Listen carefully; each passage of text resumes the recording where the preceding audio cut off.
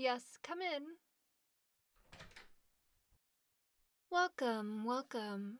So great to finally meet you. Come, have a seat and make yourself comfortable. Would you care for some tea?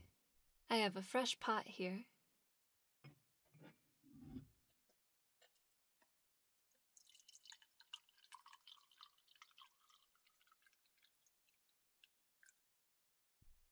You're very welcome.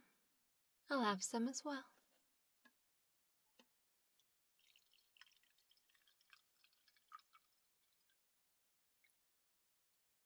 Thank you for coming on such short notice.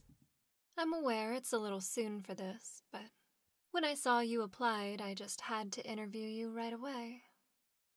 Now then, shall we begin? I have to say, looking at your resume, I am very impressed. To be honest, it looks like you're overqualified for this position.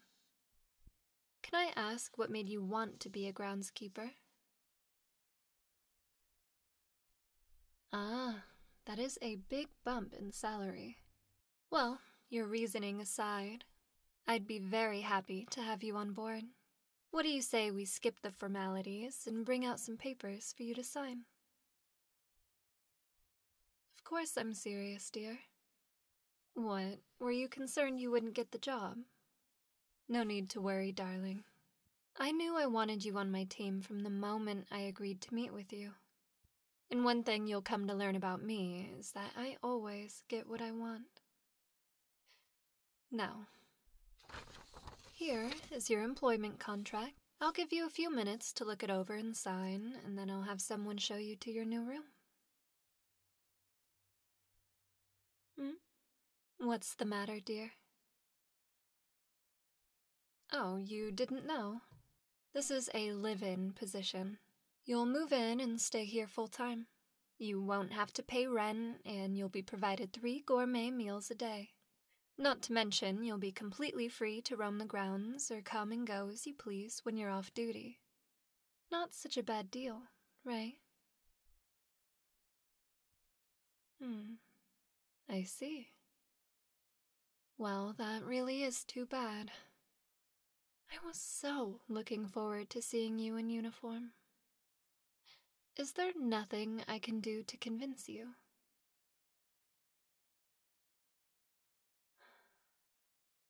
Oh well. I hope you'll at least stay to finish your tea. If it's all right with you, I'd love to continue our chat. No longer an interview, just a pleasant conversation over some tea. Would you indulge me for a bit? Wonderful. So, Tell me about your current job.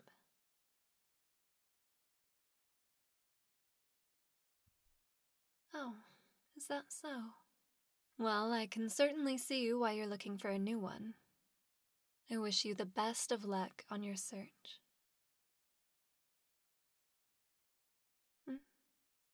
Oh, it's nothing.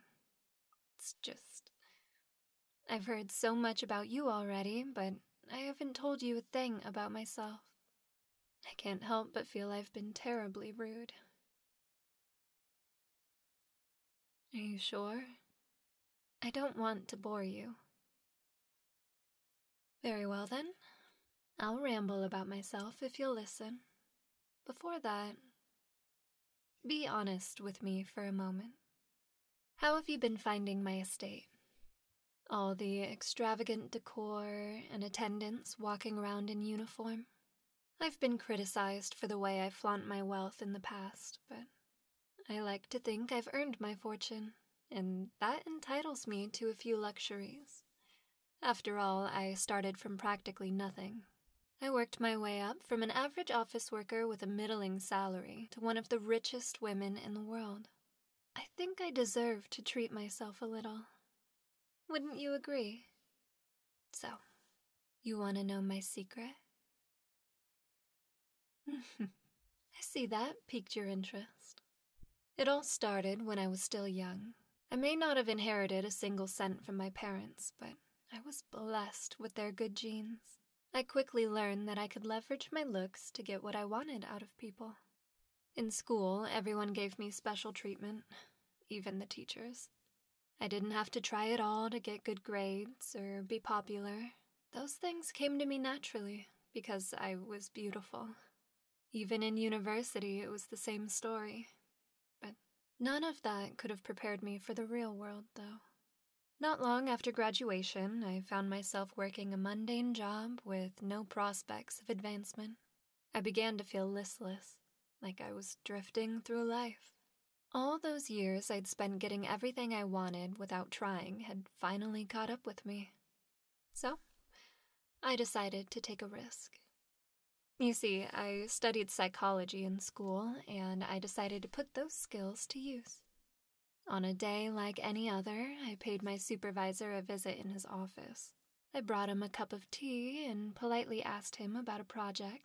As we talked, I applied what little I knew about hypnotism to subtly guide him into a trance. Once he was under, I used my eyes to drop him even further. Before long, he was willing to do anything for me. That's the first time I properly mesmerized someone. This man had been my superior mere moments ago. Now he stared blankly into my eyes and awaited my command. As I looked back at him, all I could think about was how damn easy it had been. I realized I should have done it from the start. All that time I'd wasted when it was actually so simple all along. And I didn't stop there. Next, I met with his superior and did the same to them. Then the next one, and the next one, and the next one. I hypnotized my way up the corporate ladder, refining my technique all the while. In no time at all, I was sitting in the CEO's chair. All my rivals came around to my way of thinking eventually. I retired extremely young, taking a generous sum of the company's money on my way out. Before I knew it, I was living alone in this lavish mansion and fabulously rich. But even then, I felt empty inside. I hadn't truly worked for any of this. It was all practically handed to me on a silver platter. Once again, I found myself feeling unfulfilled. On top of that, I was terribly lonely all by myself in this ridiculous house. I thought I would never find what I was looking for. Hell, I didn't even know what that was. And then one day it happened. I was looking to hire new house servants, and he walked in the door. A young man, probably around the same age as you. He was handsome and confident, but adorably naive at the same time. I knew right away I had to have him. As we talked, I couldn't help but imagine how ravishing he would look in uniform. After all, it was normal for servants to wear uniforms, wasn't it? I pitched him the same offer I gave you, and he had a similar reaction. But after a few minutes of convincing, he signed on without a second thought. He's been happily employed here ever since. To this day, he's still one of my favorites. And yes, I was right. He does look absolutely dashing in his uniform. Ever since then, I've built up something of a collection. I suppose it's become a pastime of mine. I'm sure you've seen them all around. Beautiful, obedient boys and girls, all dressed prim and proper and working so diligently for me.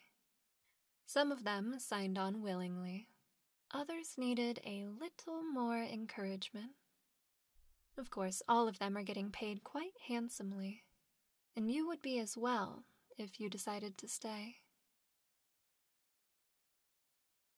Yes, my collection has really evolved into a passion for me. So much so that I went through the trouble of having this room built. It became so tiresome having to trance every new applicant from scratch. I needed a way to streamline the process a bit. A room specifically tailored to my purposes. The acoustics and soundproofing are ideal for a one on one session like this. And that's not all. Hidden speakers play an audio that hums so softly you might not even notice it. designed to subliminally drop you into a suggestive state as you listen more and more. I'm sure you can hear it if you focus.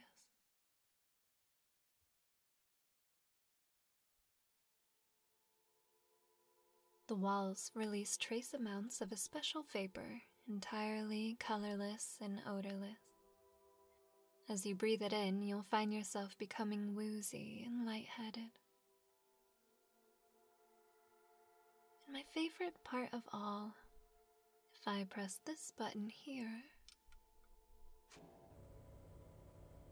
the wall behind me opens wide up to reveal a screen and on the screen is a kaleidoscope of captivating colors and spirals, with me right in the center of them all.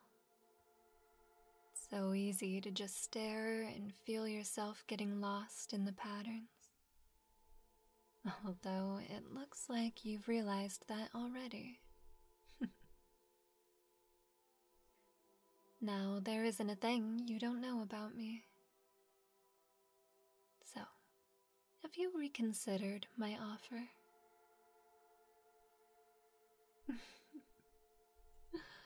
oh, my apologies. It seems you're already incapable of speech. That's all right, darling. I don't need you to speak. In fact, I'd much prefer it if you didn't.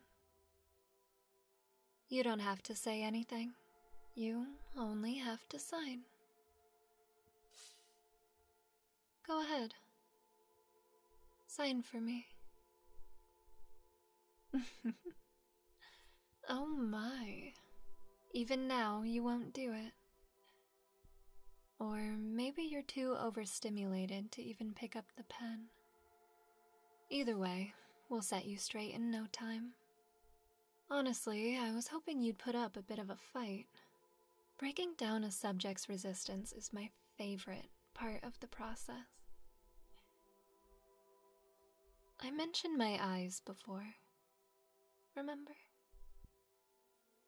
Well, now I want you to look into them. Yes, that's it. Look directly into my eyes.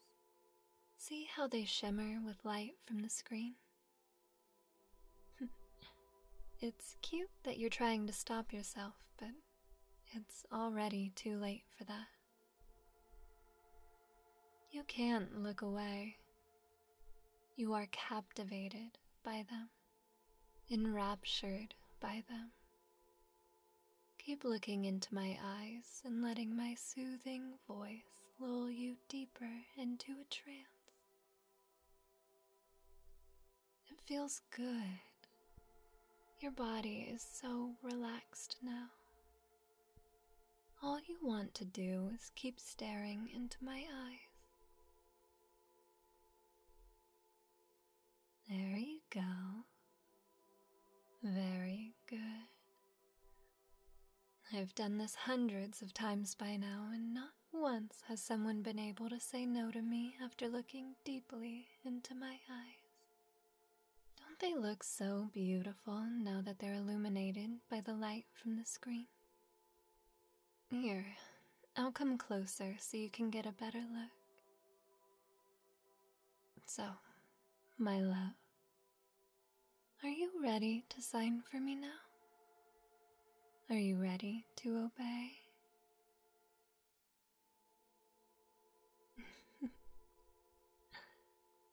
Are you trying to tell me something?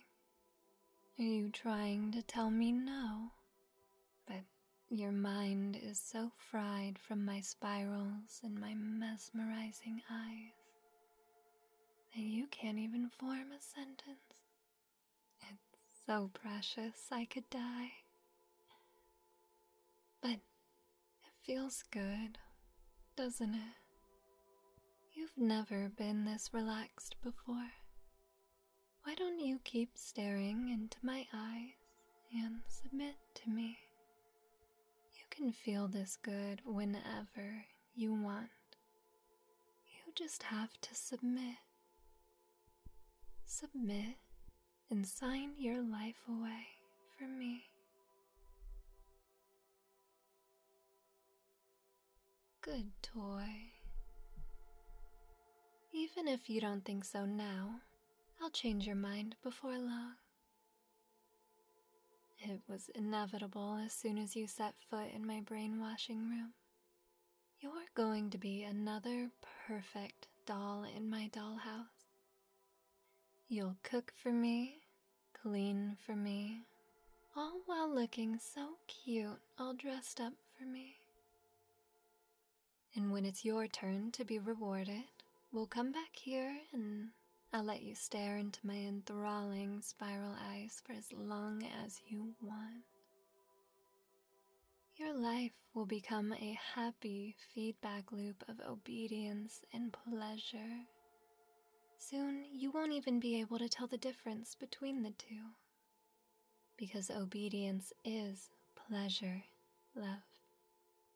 I think you've already come to accept that fact. This is how good it feels to submit. How good it feels to give me what I want. I told you before, I always get what I want. Now, take this pen. You know what you have to do.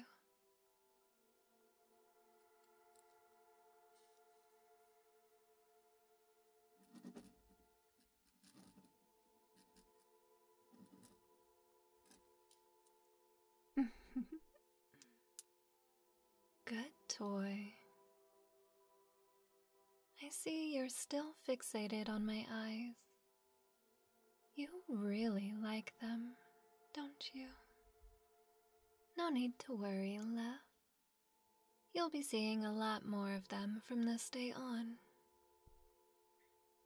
I'll give you a few minutes to collect yourself. Then I'll have someone show you to your room. Take what's left of today to rest, because you start first thing tomorrow.